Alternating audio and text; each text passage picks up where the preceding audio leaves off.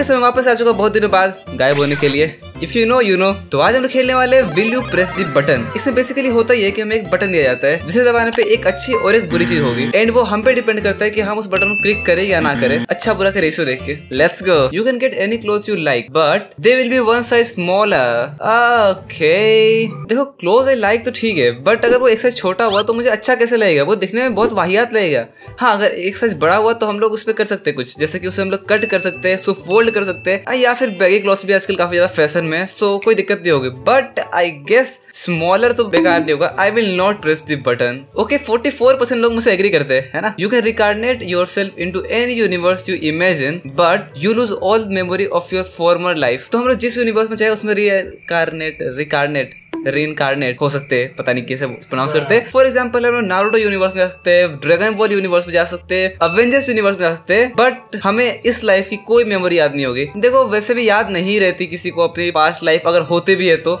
So yes I will come से कम एक life तो अच्छा मिले भले मेमोरीज ना रहे। एंड ये 63 परसेंट लोगों को सही लगी है बात। ओके ये क्वेश्चन बढ़िया है। You are the best at every sport you play मतलब हम लोग जो भी गेम खेलेंगे उसमें हम लोग बेस्ट हो जाएँगे। The opposite sex will not love you what the heck सबको अपना टूरू लव चाहिए होता है ना?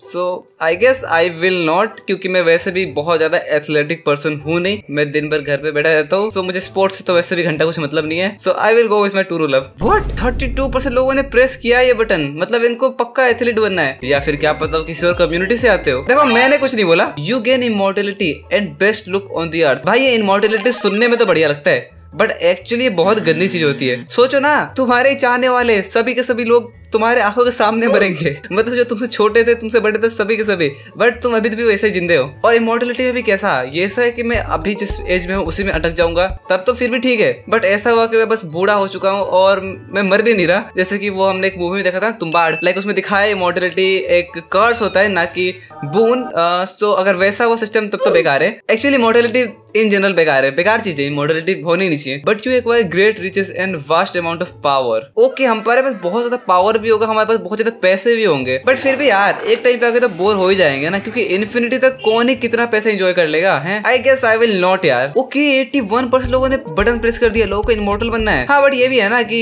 अगर लाइफ अच्छी चलेगी मतलब वास्ट अमाउंट ऑफ़ पावर हो गए एक्वायर मतलब और रीच मतलब काफ़ी ज़्यादा अमीर होंगे हम लोग और बहुत ज़्यादा पावर होगी तो भाई ना बनना भी कोई दिक्कत वाली बात नहीं है। एक काइंड ऑफ़ हम लोग एक सुपर हीरो बन जाएँगे जिसके पास बहुत सारे पैसे भी है। मैं उन चिंदी नाइनटीन परसेंट में से आता हूँ, जिनको मरना है नो वे मुझे इतनी भी जल्दी नहीं है but yeah you can turn into anything you want okay मैं जो चाहूँ मैं बन सकता हूँ but you have to stay that thing for a week okay मैं जो चाहूँ मैं बन सकता हूँ बट मुझे एक वीक तक वही चीज़ बने रहना पड़ेगा। अब वो चीज़ क्या है, मुझे समझ में नहीं आ रही। क्या वो जानवर है कोई, या फिर कोई ऑब्जेक्ट है? देखो, मैं कुछ और बने, क्या करूँगा यार? ह्यूमन से बेटर और क्या हो सकता है? हालाँकि ह्यूमन सबसे गंदे होते हैं बट फिर भी ह्यूमन लाइफ मिली है तो मैं ह्यूमन ही बनना प्रीफर करूँगा। मुझे कुछ और बनने का कोई शौक नहीं है so I will not you can teleport to any cartoon world you want okay इससे बेटर और क्या हो सकता है? But when you teleport a random person will die देखो, मैं एक लॉजिक की बात बताता हूँ। हर टाइम हर सेकेंड कोई नहीं, कोई, दुनिया सो so, अगर हमें अपना ड्रीम पूरा करने को मिलता है जिससे घंटा किसी को फ़र्क भी नहीं पड़ता आई मीन ऑब्वियसली पड़ता है बट उन्हें लार्जर स्केल देखा जाए तो वो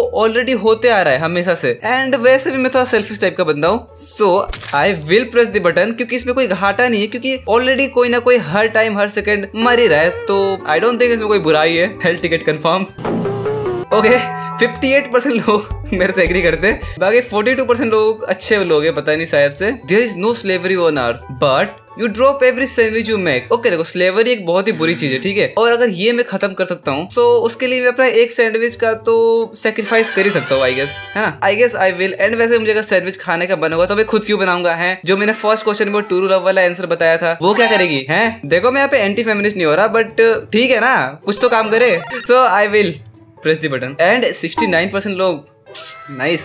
You will be immune to any diseases okay? But you will not be able to bend any of the joints in your body ever again है? इससे बड़ी बीमारी क्या होगी है?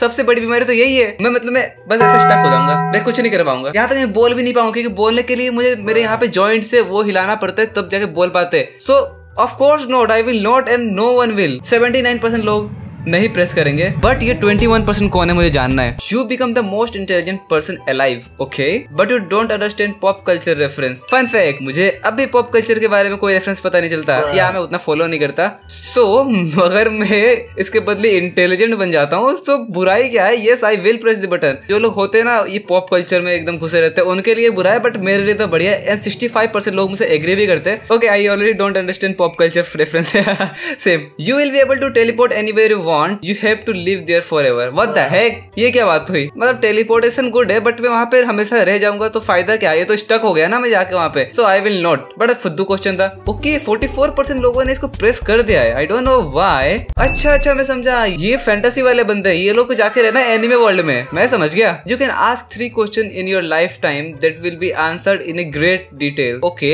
great detail मतलब क्या? मैं इलाइटमेंट पूछ सकता हूँ कि इलाइटमेंट कैसी होती है, वगैरह वगैरह। But you likely won't have anyone believing you and a monster will eat you slowly one day मतलब मुझे तीन रहस्य पता चल जाएँगे इस दुनिया के बारे में या फिर इस यूनिवर्स के बारे में। लाइक ह्यूमंस कैसे आए, वगैरह वगैरह तो ऑलरेडी पता ही है बट फिर भी कुछ चीज़ें ऐसी है जो अभी तक साइंस को भी पता नहीं है। फॉर एग्ज़ाम्पल वो जो बिग बैंग हुआ था, वो हुआ कैसे, है ना? अगर आप लोगों को बिग बैंग नहीं पता तो जाके पोको देखो, ठीक है? वो मुझे पता तो होगा बट मेरे बातों पर कोई भरोसा नहीं करेगा। एंड उसका एंड भी बहुत बुरा आएगा। एक मॉन्स्टर मुझे आए खा जाएगा, वो भी धीरे धीरे कच्चा। ज़िंदा विच आई डोंट वॉन्ट कि मेरा एंड ऐसा हो। मैं चाहता हूँ मेरा एंड एक अरे यार, मैं ज़्यादा पॉडकास्ट सुनने लगा हूँ। एंड की बातें कर रहा हूँ मैं। I will not okay seventy two percent people press नहीं करेंगे। Nice you will be able to travel between different world of movies video games and cartoons wow but you will be haunted down by government for the rest of your life and will always be in danger of their weapon okay हम किसी भी दुनिया में सकते cartoon anime